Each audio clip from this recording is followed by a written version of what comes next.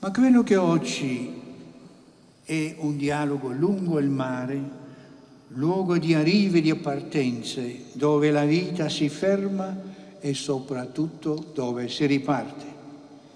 Ed è la stessa esperienza che il risorto chiede di vivere a Pietro con la domanda mi ami tu?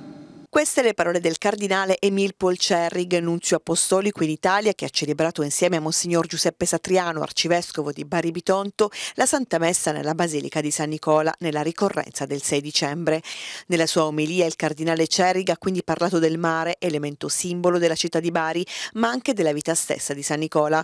Un invito all'accoglienza e quindi, ancora una volta, alla pace tra i popoli. Una città da dove si parte è una città che arriva, che è stata contaminata anche da da tanti popoli che l'hanno attraversata, la nostra comunità è il frutto della contaminazione di tante persone che sono passate di qui e hanno plasmato anche questa città, è una città accogliente anche perché sono passate davvero tanti popoli, il mare che ha portato qui tanti popoli eh, porta ancora l'eco, i suoni di, di quelle culture, eh, di quei popoli che sono arrivati fino qui da noi.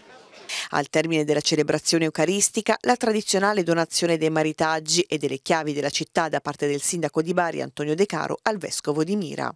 Eh, la consegna delle chiavi è un simbolo medievale, no? quando c'erano questi castelli, queste grandi mura, grandi portoni, la chiave serviva ad aprire il portone, veniva data a poche persone. Noi consegniamo la chiave perché ci affidiamo a San Nicola, affidiamo la nostra città a San Nicola, ai suoi valori, ai suoi ideali e quindi è un modo con la consegna della chiave di affidarsi a qualcuno, ci affidiamo al nostro santo patrono.